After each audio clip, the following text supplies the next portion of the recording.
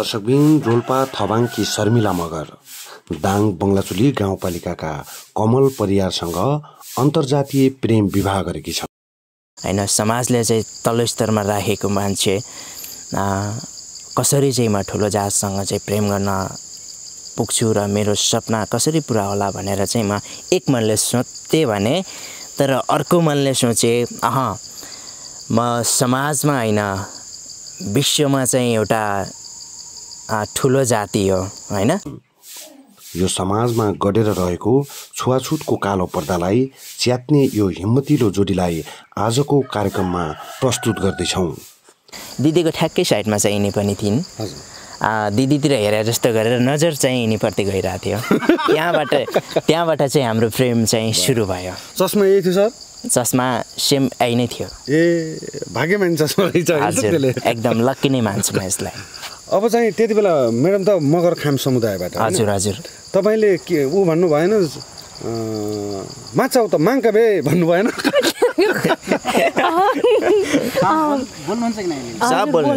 त्यो के हो? ल भन्नुहोस्। माछा त माङ्का बे भने के हो? ल त्यो त नराम्रो हो भने यो त्यो नराम्रो पो हो। साउ भने हेर्दा म्युजिक भिडियोको मोडेल जस्तै देखिने झिल्के कमल परियार थबाङकी मगर्नी शर्मिलालाई उडाउने आँट गरे साहस गरे। हे कसो गरी सुल्टिने छुट्टिन परे धरु धर्म सुल्टिने त्यसै दिन मरे। चौतारीलाई सुल्टिने पिपलु बर तिमी मेरो सुल्टिने अरू तको छ र तिमी मेरो सुल्टिने अरू तको छ र अब कठै बरी मेरी प्यारी चन्द्र। तिमी नरिसाउ न यसरी। यदि तिमी रिसायो भने चाहिँ म कसको स्वास्नीलाई समात्न जाने होला नि? आखिर समात्ने त तिमी नै हो नरिसाउ न बाबै। उहाँको नराम्रो बानी चाहिँ के छ? उहाँको चाहिँ नराम्रो बानी भनेपछि साँझ सुते हुन्छु। आएर चाहिँ सुते बेला उठाउनुहुन्छ हान्नुहुन्छ। यस्तो रिस उठ्छ नि मलाई निद लागेको बेला। आएर गालाम प्याटका पेट पारेर उठाउनुहुन्छ नि फेरि बसेर गफ गरौँ दुःख न सुख भन्नुहुन्छ फेरि मलाई फेरि गफ गर्ने फेरि लहर लाग्छ अनि त्यही भएर त्यही हो। दर्शकबिन नमस्कार। तपाईँ यति बेला हेर्दै हुनुहुन्छ जनआवाज नेपाल लगायतका विभिन्न मिडियाबाट हामीलाई एकसाथ हेरिराख्नु भएको छ। दर्शकबिन यति बेला हामी प्युठान जिल्लामा छौँ। प्युठान जिल्लाको शर्माना शर्मारानी गाउँपालिका वार्ड नम्बर दुईको दरबान भन्ने स्थानमा आएका आइपुगेका छौँ। तपाईँले फ्रेममा देख्नुभएको जोडी। मेरो छेउमा रहनुभएको एकजना युवा हुनुहुन्छ। उहाँको घर चाहिँ बङ्गलाचुली गाउँपालिका मा पर्छ भने अहिले चाहिँ कामको सिलसिलामा उहाँ दरबानमा हुनुहुन्छ र छेउमा रहनुभएको उहाँको श्रीमती विशेष गरी उहाँहरूले अहिले पछिल्लो समय अन्तर्जातीय बिहे गरिसकेपछि उहाँहरू उहाँहरूले गर्नुभएको उदाहरणीय कामको यति बेला चर्चा भइराखेको छ। विशेष गरी भन्नुपर्दा मेरो छेउमा उभिनु भएको सर चाहिँ एउटा कथित उपल्लो वर्गले बनाएको दलित भन्ने एउटा जुन सिपका धनी शिल्पी समुदायलाई हिजोको दिनमा राजा महाराजाले दलितको उपनाम दिइसकेपछि सयौँ वर्षसम्म थिचोमिचोमा राखेर यो चाहिँ एउटा जातीय विभेदको विभेद गरिराखेको यो कुप्रथालाई चाहिँ अहिलेको संविधानले चाहिँ मानेको छैन। तथापि कतै कतै यसका बाछिटाहरू देखिराखेका छन्। विभिन्न घटना परिघटनाले पनि त्यो देखाउँछ। तर उहाँहरूले गर्नुभएको यो साहस यो अत्यन्त उदाहरणीय साहस छ। समाज परिवर्तन गर्नको लागि आफैबाट सुरुवात गर्नुपर्छ भन्ने उहाँहरूले गतिलो उदाहरणको रूपमा प्रस्तुत हुनुभएको छ। आज उहाँहरूको यो उदाहरणीय जोडीलाई हामीले मिडिया मार्फत प्रस्तुत गर्दैछौँ। रमाइलो विशेष गरी रमाइलो कुराकानी गर्नेछौँ। उहाँ चाहिँ विभिन्न कलाकारको क्यारिकेचर सँगसँगै गीत पनि गाउनुहुन्छ। अत्यन्त रमाइलो बसाइ हुनेछ। भिडियोलाई अन्त्यसम्म हेर्नुहोला। मनमा लागेका कुराहरू कमेन्ट बक्समा लेख्न नबिर्सनुहोला। सर नमस्कार। नमस्कार। हजुरको नाम भनिदिनुहोस् त। मेरो नाम कमल परियार। हजुर। घर चाहिँ बङ्गलाचुले पाँच साकिने दाङ मेरो जन्मथलो भयो। र कर्मथलो चाहिँ शर्मा रानी गाउँपालिका स्थित शर्मा रानी गाउँपालिका दुई दरबान बजारमा कर्म गरिरहेको कर्म गरिराखेको छु। तपाईँ त हेर्दाखेरि ट्याक्कै हिरो जस्तो देखिनुहुन्छ ट्याक्कै फिल्मको हिरो जस्तो। फिल्मको हिरो जस्तो नै भन्छन् प्रायः जसोले होइन। कसैले चाहिँ अब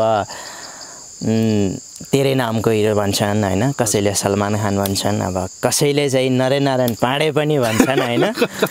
अब कसैले चाहिँ प्रायः जसोले पाँडे भनेर बोलाउँछन् अब कसैले चाहिँ होइन।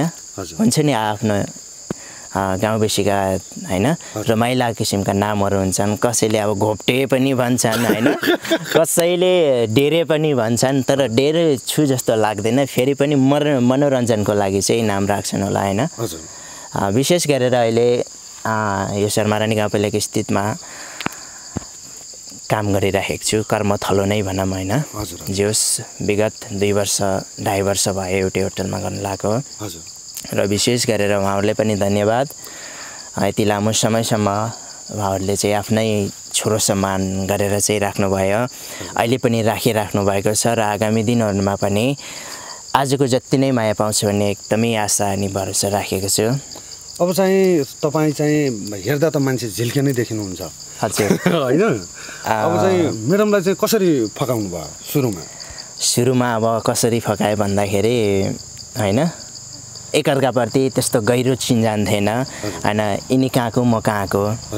बिचमा यसरी माया बस्यो। त्यो म आफै कल्पना पनि गर्न सक्दिनँ। प्रेमको सुरुवात पहिलो भेट कसरी भएको थियो? के पहिलो भेट। भएको थियो तपाईँहरूको? हाम्रो संजोग यस्तो थियो। एकदम अपर्झटमा भेट भयो होइन? त्यो मैले सोचेको थिएन कसरी विवाह हुन्छ र अपरिचित व्यक्तिसँग कसरी चाहिँ रिलेसनमा आइन्छ भने सोचेको थिएन। अब जस्ट अब नसोचेको बेलामा भेट भयो यिनी कहाँको म कहाँको भेट भयो र यसरी आज भेट हुँदा हुँदा अहिले समाजको कसरी भयो भेट त्यो भेटको कहानी सुनाइदिनुहोस् त थोरै।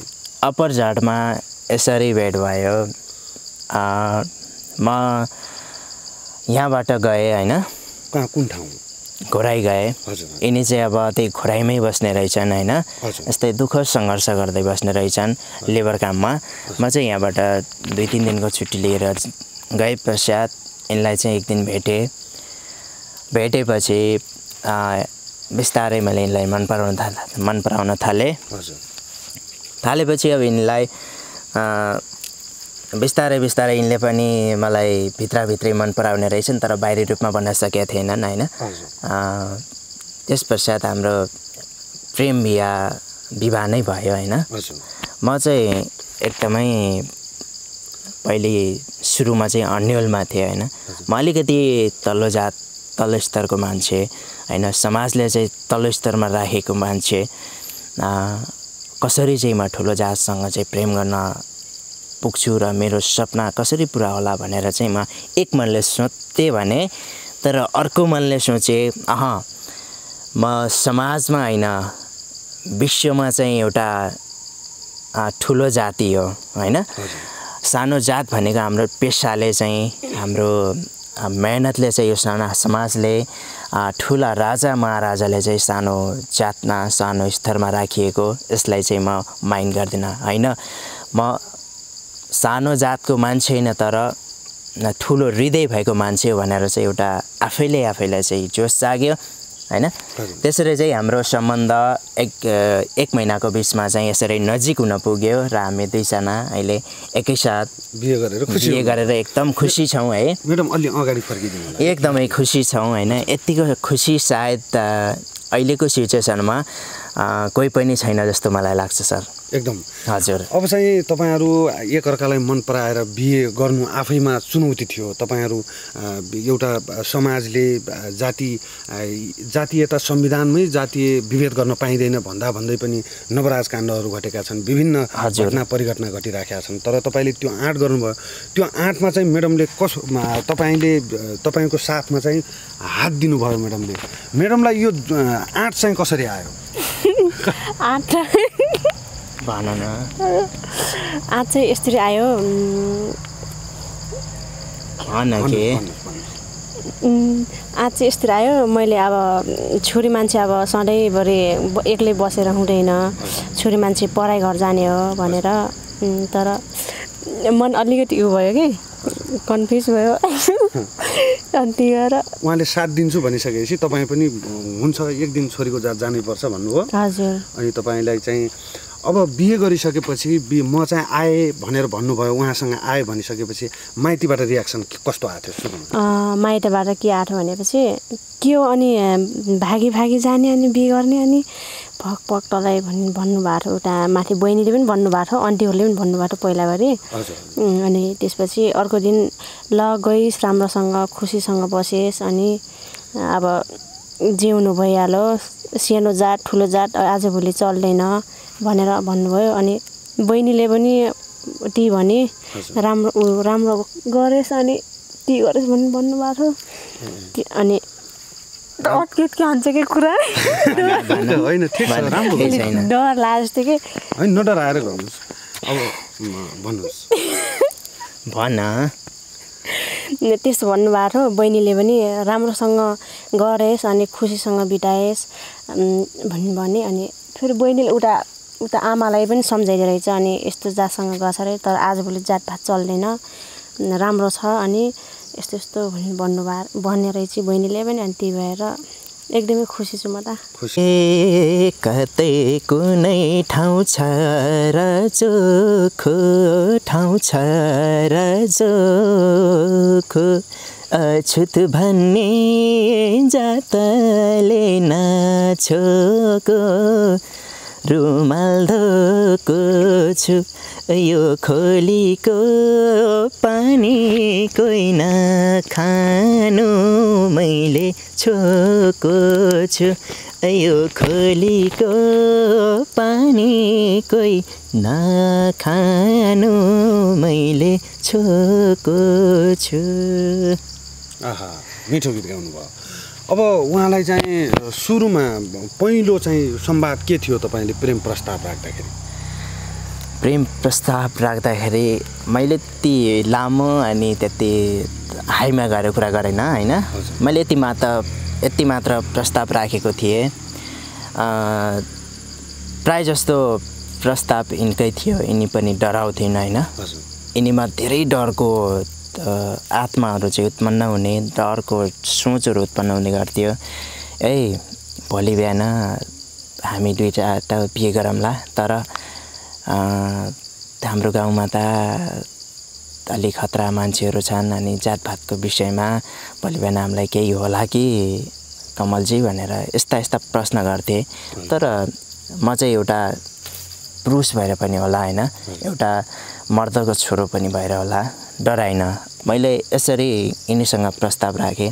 हेर अब चाहिँ हामी ढिला गर्नु हुँदैन होइन? जातभात भन्ने कुरा यस्तै हो। यो हामीले नै बनाएको जात हो र यो कुनै सृष्टिकर्ताले चाहिँ बनाएको जात होइन। संसारमा सिर्फ जात भनेको दुई जात मात्र छन्। त्यो हो सिर्फ केटा र केटी मात्र। अब डराउनु पर्दैन। यो संसार यो समाजको चाहिँ यो कालो अन्धकारले घेरिएको ती कालो सोच र विचारलाई चाहिँ बाहिर निहाल्नुपर्छ। हाम्रो जोडी चाहिँ एकदम जमाउनुपर्छ र यस संसार यो समाजमा चाहिँ लुकेको यो जातीय भेदभावलाई चाहिँ यो समाजमा यो देशभर चाहिँ निहालेर चाहिँ हामी अगाडि बढ्नुपर्छ। एउटा साहस राखेर चाहिँ यिनीमा चाहिँ मैले त्यो किसिमले प्रस्ताव राखेँ र मेरो प्रस्तावलाई चाहिँ सहजैसँगले स्वीकार्न सफल भइन् र हामी आज यसरी दुईजना चाहिँ विवाह बन्धनमा बाँधिन सफल भयौँ। अब चाहिँ म्याडमतर्फ जान चाहन्छु। तपाईँलाई चाहिँ सुरुमा उहाँलाई देख्दा चाहिँ के मनमा लागेको थियो सुरुमा? उत्पन्न चाहिँ के भएको? उम्, उहाँलाई देख्दा? हजुर।